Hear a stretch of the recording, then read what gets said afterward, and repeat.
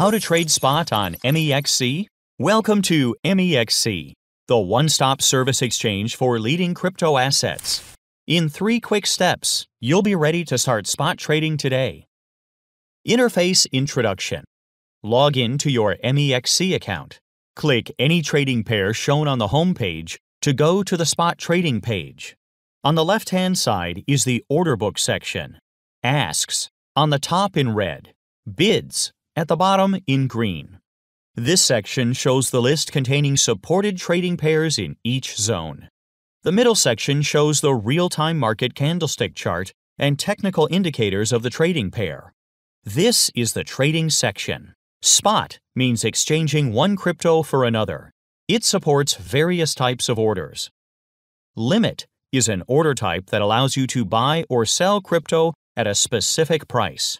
Market allows you to buy or sell crypto at the real-time market price. Stop limit is an order type that will be automatically placed when your trigger price is reached.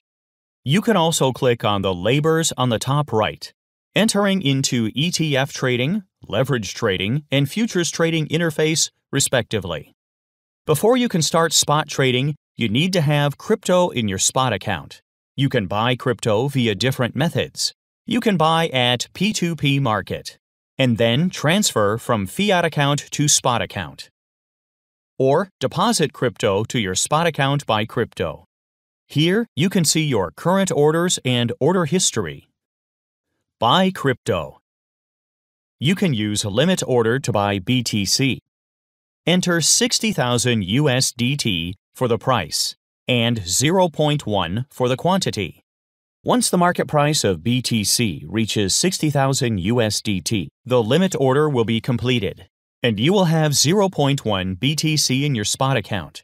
If the price of BTC does not reach 60,000 USDT, or you no longer want to wait on the order, you can click Cancel to cancel your order. Sell crypto. If you want to quickly sell BTC at the market price, you can use Market Order entering the selling quantity 0.1 to complete the transaction instantly. You will find 6,300 USDT in your spot account. You are now ready to start spot trading on MEXC.